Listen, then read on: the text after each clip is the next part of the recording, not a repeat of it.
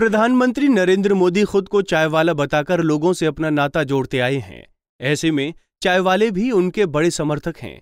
ऐसे ही पीएम मोदी के एक समर्थक कानपुर में हैं, जो अपने चाय के स्टॉल के बाहर बैनर पर रोज़ाना मन की बात लिखकर प्रधानमंत्री और महापुरुषों के विचारों को आगे बढ़ाने का काम कर रहे हैं। पीएम मोदी के इस ज़बरदस्त फ़ैन का नाम है अनिल कुमार। अनिल कई साल पहले कालपी से आकर कानपुर के इंदिरा नगर में बस गए और यहाँ पर इन्होंने अपनी चाय की दुकान खोली। अनिल अपनी दुकान खोलने के बाद सबसे पहले मन की बात को लिखते हैं उसके बाद चाय बनाने का काम शुरू करते हैं। मैं सुबह आकर के दुकान खोलता हूँ उसके बाद पहले मैं अपना जो बैनर को बिगाड़ता हूँ उसमें मन की बात लिख देता हूँ और फिर अपना दुकान खोल कर अपना काम शुरू करना रखते मन की बात मैं रोज लिखता हूँ।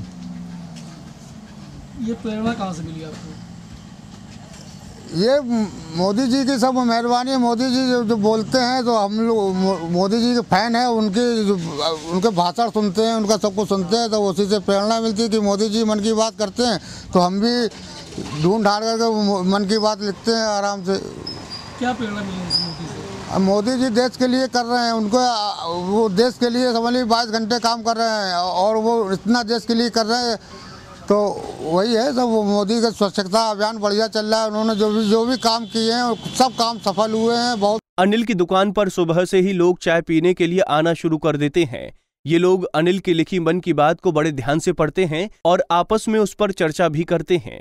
आपको बता दें कि अनिल प्रधानमंत्री के मन की बात को ही आगे नहीं बढ़ा रहे हैं, बल्कि लोगों को स्वच्छता का संदेश भी देने का काम कर रहे हैं। पंजाब केसरी टीवी के लिए कानपुर से अमरीश त्रिपाठी की रिपोर्ट।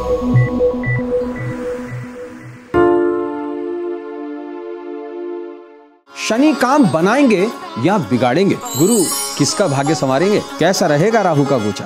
मंगल से किसे लगेगी ठोकर? मैं बताऊँगा मेष से लेकर मीन राशि का हाल। भविष्यवाणी लाइव में पंजाब केसरी टीवी पर रोज सुबह आठ बजे।